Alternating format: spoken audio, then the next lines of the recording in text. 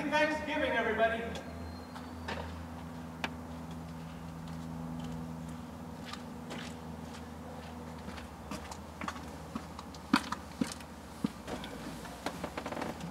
And now for some turkey.